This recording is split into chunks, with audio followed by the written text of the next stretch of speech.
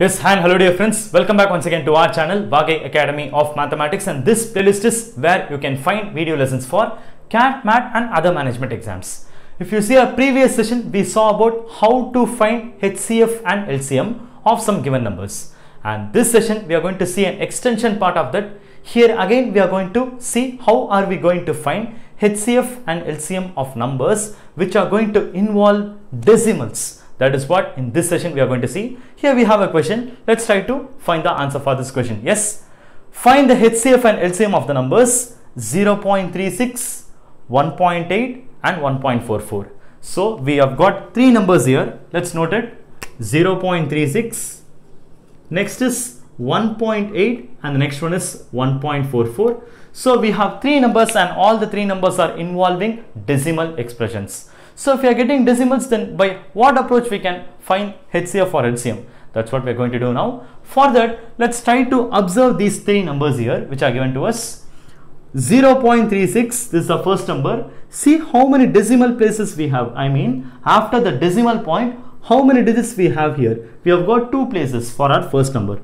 Same way come to our second number here we have 1.8 that means after decimal point we have only one digit in our second number and our third number here like our first number here again we have got two places two decimal places. I mean like after decimal point we have got two digits after the decimal point. So we have to see the maximum of them. So two places one places and two places right? So maximum of them will be obviously two places. So for that reason what i'm going to do is i am going to multiply all these numbers by 100 you may wonder why i'm going to do this so if you see, I'm going to generate three new numbers from my three original numbers. If you try to do that, let us see what happens. Okay. So 0.36 into 100, this will become two decimal places will be tackled with this 100 so that you would end up with 36 comma next is 1.8 into 100 so 1.8 into 10 if you do that will be 18 and once again 18 into 10 you do you will get 180 is it or not? So our second number will become 180 and what about our third number? This will become 1.44 into 100 the same thing what happened to our first case first number. Here again two places with two zeros in the 100 it will be getting tackled and you get 144 so you will end up with three new numbers. And if you see these numbers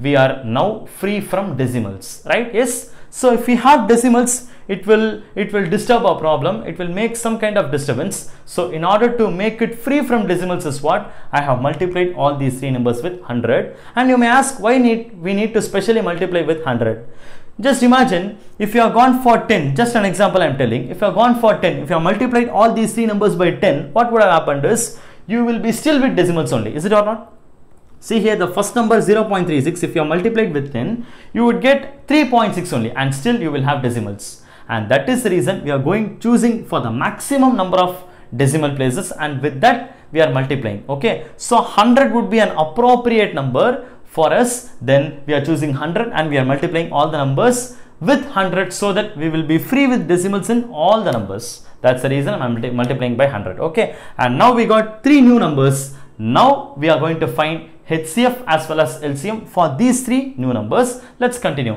This is done by our usual procedure only. Okay. Yeah, fine. Yes, I'm going to take the LCM.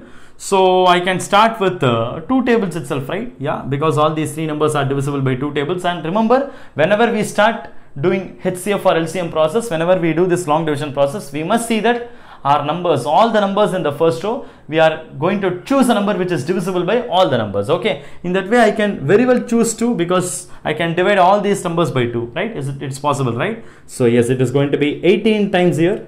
And next i have uh, 180 and 290 times this is and 144 by 2 this is 72 times so once again I can continue. Now I can continue with uh, three tables, right? Yeah, this time I can go with three tables. So 3 6 are 18 and here 3 into 30s are 90 and here 3 24 times it gives you 72. Yes. And once again I can go search for some other number which is divisible by all three. So I can go for 6 tables itself, right? Because I am very sure that all these three numbers are divisible by 6. I can very well go for 6 tables also. So 6 if I go I will have 6 ones are 6 6 5s are 30 and 6 4s are 24 and again if you try to continue just think or just see whether you have any numbers which is divisible by all the three numbers 1 5 4 No, that is not possible, right? So in that situation, we'll have to stop our process here itself. So now it's the time for us to calculate what is the HCF. So for which what we will do? We will just multiply these numbers with which we factored, okay? So 2 into this 3 into this 6. If you multiply this, you get 2 3s are 6, 6 6 are 36 so this is what we are getting for our answer for HCF. Okay, we will hold it. We will just hold it. This is not our final answer. Just remember it. We'll hold it. Okay, we have something to be done uh, hereafter. Okay, so to be continued. We will hold it as of now. Let's finish the process. Okay, next is we need to find the LCM also. Is it or not? So let's try to find the LCM also. And for LCM, what do we think? What we will try to check so not all three numbers are divisible. We will check at least whether two of them are divisible. That is what we will be checking next, right? So see 1, 5 and 4. Do you have any number which is still divisible by any of these two? Even that is not possible. So stop there.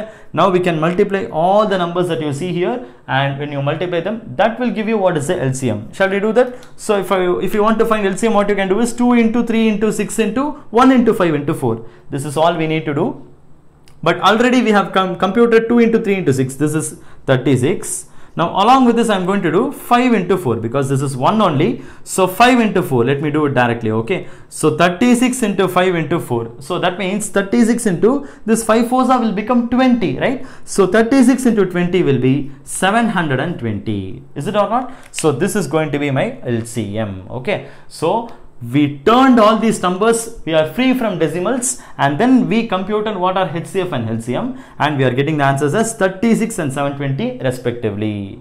But remember this 36 and 720 are going to be the HCF value and LCM value respectively for these three numbers. Okay? These three new numbers only and not for our original three numbers that we have in the question.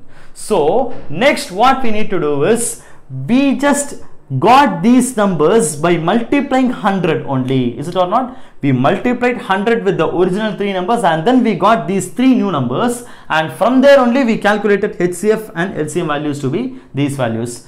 Now in order to get back to the original form I mean in order to get back to the original form we need to do the reverse process. That is nothing but we have to divide our answers by 100 is it clear I hope you are getting the point very clearly. We got the answers as 36 and 720. That is okay. But they are the answers for these three numbers.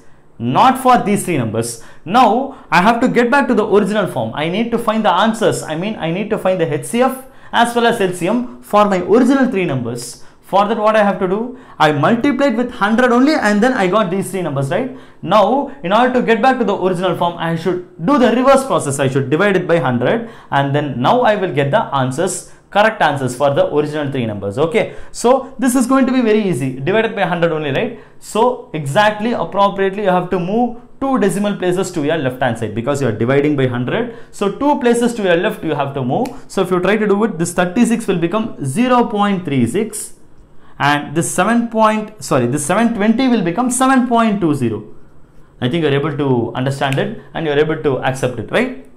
36 by 100 two places move to the left 0.36 720 I'm moving two places to the left I will get 7.20 or simply 7.2 okay? So that means my HCF and LCM for my three numbers that I have in the question are going to be HCF is 0.36 and LCM is 7.20. These are going to be the answers. Okay, so let me clearly summarize what we did here. So whenever you are given numbers to find HCF and LCM and that too when you are given decimal numbers, the first step what you need to do is you need to multiply it with numbers like 10 or 100 or 1000 based on how many decimal places you have. And that too how you have to choose numbers you have to go for the maximum number of decimal places. And accordingly you have to multiply with that number.